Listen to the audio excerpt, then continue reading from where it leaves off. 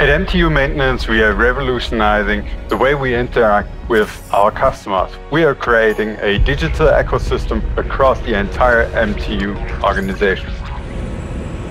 MTU's engine trend monitoring system, ETM, will play a key role here. ETM monitors specific data sets from operations. By analyzing them, we help our customers reduce unexpected events, operational costs, and we can integrate them into fleet planning.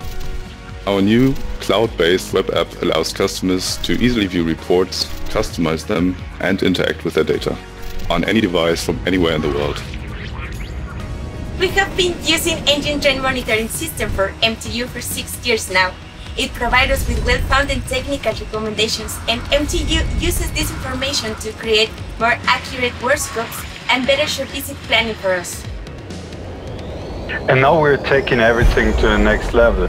Our new digital ecosystem will connect people, products, and processes to provide our customers a seamless experience in the MTU world.